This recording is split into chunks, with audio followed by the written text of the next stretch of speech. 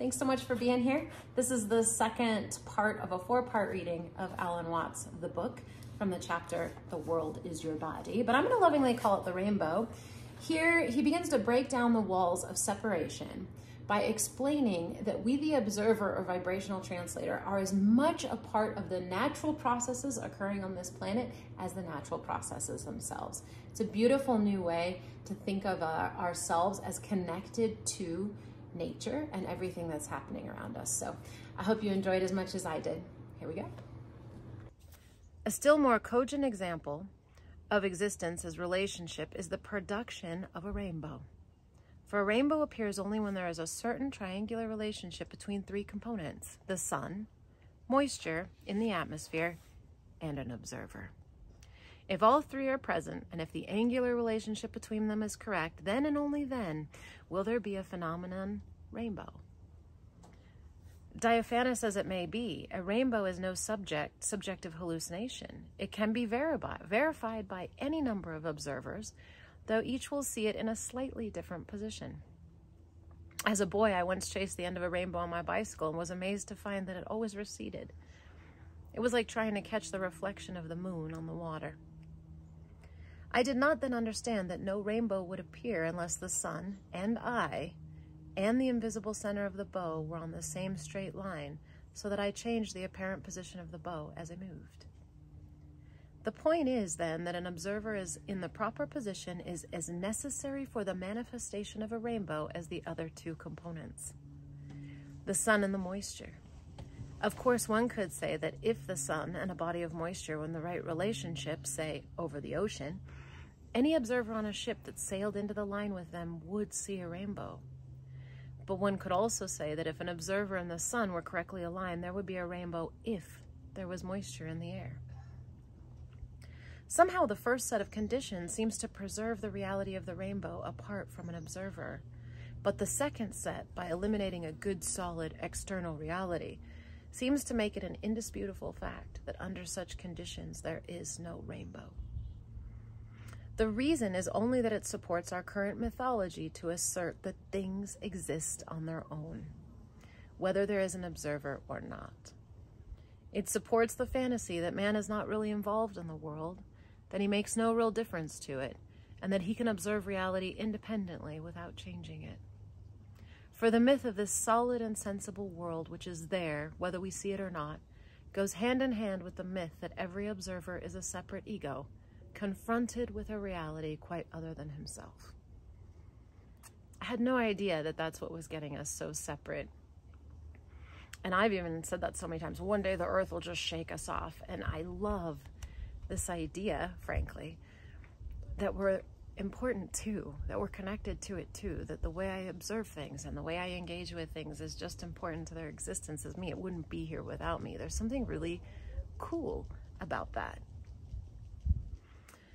Perhaps we can accept this reasoning without too much struggle when it concerns things like rainbows and reflections, whose reality status was never too high. But what if it dawns on us that our perception of rocks, mountains, and stars is a situation of just the same kind? There is nothing in the least unreasonable about this. We've not had to drag in any such spooks as mind, soul, or spirit. We've simply been talking of an interaction between physical vibrations and the brain with its various organs of sense, saying only that creatures with brains are an integral feature of the pattern which also includes the solid earth and the stars and that without this integral feature, or pole of the current, the whole cosmos would be as unmanifested as a rainbow without droplets in the sky or without an observer. Our resistance to this reasoning is psychological. It makes us feel insecure because it unsettles a familiar image of the world in which rocks, above all, are symbols of hard, unshakable reality. And the eternal rock, a metaphor for God himself. The mythology of the 19th century had reduced man to an utterly unimportant little germ in an unimaginably vast and enduring universe. It is just too much of a shock, too fast a switch to recognize that this little germ with its fabulous brain is evoking the whole thing, including the nebulae, nebulae millions of light years away. Does this force us to the highly implausible conclusion that before the first living organism came into being equipped with a brain, there was no universe? that the organic and inorganic phenomenon came into existence at the same temporal moment? Is it possible that all geological and astronomical history is a mere extrapolation that is talking about that what we would have happened if it had been observed? Perhaps, but I will venture a more cautious idea. The fact that every organism evokes its own environment must be corrected with the polar or opposite fact that the total environment evokes the organism. Furthermore, the total environment or situation is both spatial and temporal, both larger and longer than the organisms contained in its field. Talking about a space-time reality. Abraham says all the time, and even Neville Goddard talks about this, that there's a larger and longer sort of space and time field that we're in. The organism evokes knowledge of a past before it began and of a future beyond its death. At the other pole, the universe would not have started or manifested itself unless it was at the same time going to include organisms. Just as current will not begin to flow from the positive end of a wire until the negative terminal is secure. The principle is the same whether it takes the universe billions of years to polarize itself in the organism or whether it takes the current one second to traverse a wire 186,000 miles long. I repeat that the difficulty of understanding the organism-environment polarity is psychological. The history and the geographical distribution of the myth are uncertain, but for several thousand years we've been obsessed with a false humility. On the one hand, putting ourselves down as mere creatures who came into the world by the whim of God or the fluke of blind forces, and on the other, conceiving ourselves as separate personal egos fighting to control the physical world. Why do we only have two options? It's so weird. We have lacked the real humility of recognizing that we are members of the biosphere, the harmony of contained conflicts, in which we cannot exist at all without the cooperation of plants, insects, fish, cattle, and bacteria.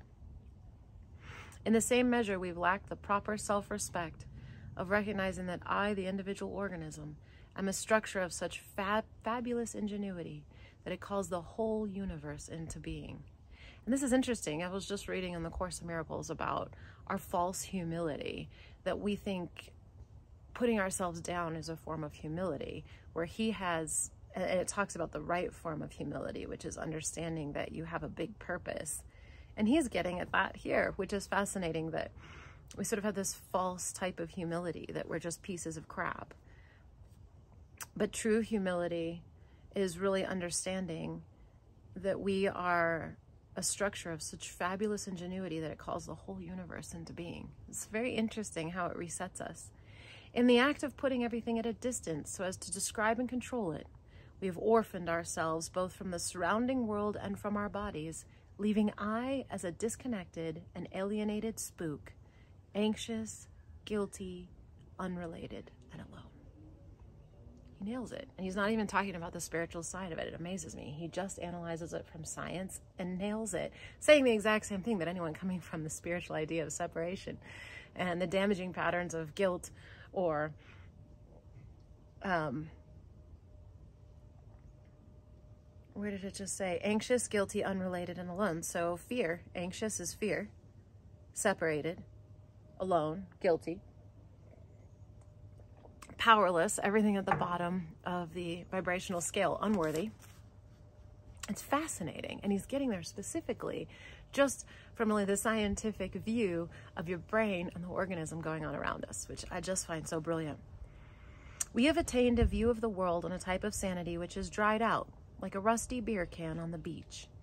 It is a world of objects, of nothing buts, as ordinary as a formica table with chromium fittings. We find it immensely reassuring, except that it won't stay put, and must therefore be defended even at the cost of scouring the whole planet back to a nice clean rock. For life is, after all, a rather messy and gooey accident in our basically geological universe. If a man's son asks for bread, will he give him a stone? The answer is probably yes.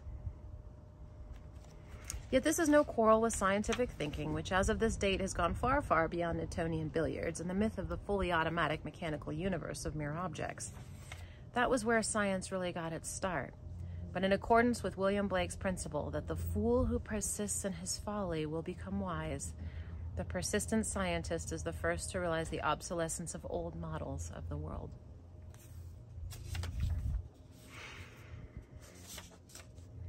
And so the next chapter, which is the second part, is so what? so he's established this different version sort of of the universe, but so what? Thank you for being here. I hope you enjoyed it. I really, really appreciate you, just so you know. Obviously, this wouldn't be happening without you, the observer, to receive it. so it's a happening that's happening together, and you must be calling forth this information as much as my questions are. And hopefully, you've gotten a cool little tickle in your brain like I do from this.